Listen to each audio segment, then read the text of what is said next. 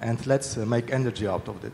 Yeah. And I would like to ask you, uh, why uh, do you believe uh, so in solar energy and in, in clean tech energies and also in sustainable energy? And the last question, I will not ask any more questions.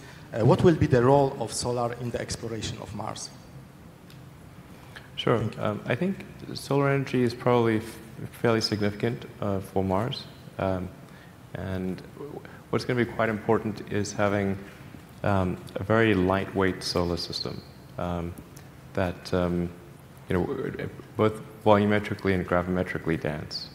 Um, so actually, you were sort of playing with different concepts like, um, you know, that like thing, that potty thing where you inflate it and it rolls out, the, the thing.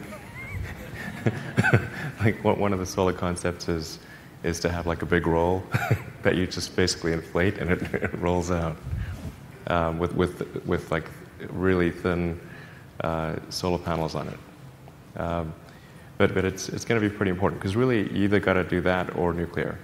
Um, and um, you know, nuclear has, has its challenges, but, but for, solar it's, it's pretty straightforward. Um, so I think, uh, I think solar is very important to the future exploration of Mars for sure. So thank you, and I wish you